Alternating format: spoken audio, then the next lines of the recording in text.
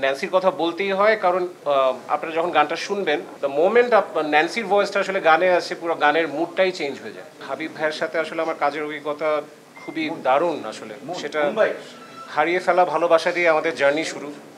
সেখান দিয়ে আমরা এরপরে অনেক ভালো ভালো গান উপহার দিয়েছি আমরা দুজন মিলে এবং আমি পার্সোনালি হাবিব ভাই is one of the biggest friends আর গানচিলের কথা নতুন করে বলার কিছু নেই Ganchil is like my family Asif ভাই আমার ভাইয়ের মতো।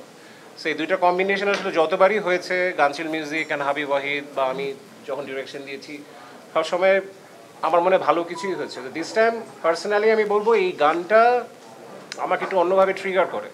কারণ আমরা আসলে যেদিন রাতে যেটা, আসিফ ভাই বললেন, যেদিন রাতে গানটা আসলে শুনছিলাম ওটা আমাকে একটা অন্যরকম ভাইব দিচ্ছিল। The moment I heard the song আমার মনে হচ্ছিল যে this the song I am looking for last four years কারণ আমি কিন্তু এই কয়েকদিন আসলে গত চার পাঁচ বছর আফটার নডরে আমি এভাবে মিউজিক ভিডিওস বানাইনি খুব কম। আর আমি খুবই পিকি এখন মিউজিক ভিডিওর ব্যাপারে। সামনে বেছেই কাজ করতে চাই বাট আমি the moment I heard the song আমার মনে হয় এই গানটা আমার বানাতেই হবে, যেভাবেই হোক। তারপর আসিফ ভাই বলেছেন যে কীভাবে আমাদের জার্নিটা শুরু হয়।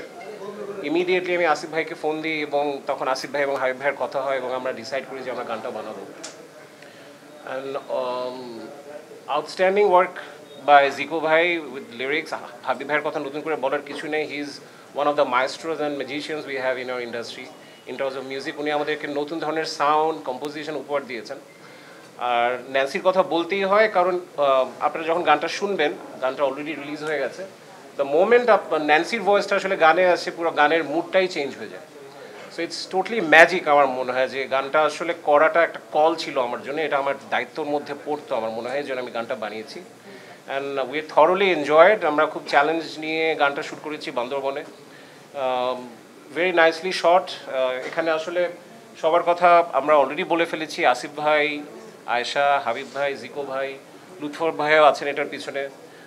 আমার টিমও আছে এটার পিছনে, যাদের কথা আমরা নর্মালি বলি না বা বলা হয় না। ওরা they have also done much মানে আউটস্ট্যান্ডিং জব সিনেমাটোগ্রাফার ছিল ভাস্কর জনি। অনেকদিন ধরে আমার সাথে কাজ করছে। সৈকত, আমার চিফ এডি বাঁধন, নয়ন উজ্জ্বল দেন পিউ শিহান, সবাই আমার সাথে অনেকদিন ধরে কাজ করছে পোস্টার ডিজাইন করেছে মাসুম। তো এরা আমার সাথে অনেকদিন ধরে কাজ করছে এবং আই এম রিয়েলি ব্লেসড যে আমি ফর্চুনেটলি এবং আলটিমেটলি গানটা বানাতে পেরেছি অ্যান্ড পার্সোনালি সবচেয়ে বড় কথা অনেকদিন পরে গানটা বানিয়ে আমার মনে হয়েছে যে আমি গানটা একটা ভালো গান বানাতে পারলাম। দ্যাট ইজ মোর ইম্পর্ট্যান্ট আর আমি একটা জিনিস বিলিভ করি যে সেটা হচ্ছে যে গান ভিডিও ভালো হওয়ার জন্য গান ভালো হওয়া খুব জরুরি। কারণ আমাকে আসলে গানটাই ট্রিগার করে সেক্ষেত্রে। সো আমি পার্সোনালি খুবই হ্যাপি আমি খুব, সাধারণত নিজের কাজে খুব একটা স্যাটিসফাইড হই না। কারণ আমার মনে হয় কোনো পরিচালকেরই আসলে স্যাটিসফ্যাকশন আসা উচিত না। তাহলে আমার মনে কাজের খিদাটা চলে যায়। সো আমি মোস্ট অফ দ্য টাইম খুব একটা স্যাটিসফাইড হই না নিজের কাজ নিয়ে। বাট এই গানটা বানিয়ে আমি পার্সোনালি খুবই স্যাটিসফাইড আমার মনে হয়েছিল যে আমরা যে জিনিসটা চিন্তা করছিলাম, হাবিব ভাই যে চিন্তা ভাবনা থেকে কাজটা করেছিলেন, সেটা আমরা কিছুটা হলেও ওখানে আমার মনে হয় রিফ্লেক্ট করতে পেরেছি। And we are really happy আপনাদের সকলকে অনেক ধন্যবাদ এতক্ষণ ধরে অপেক্ষা করার জন্য।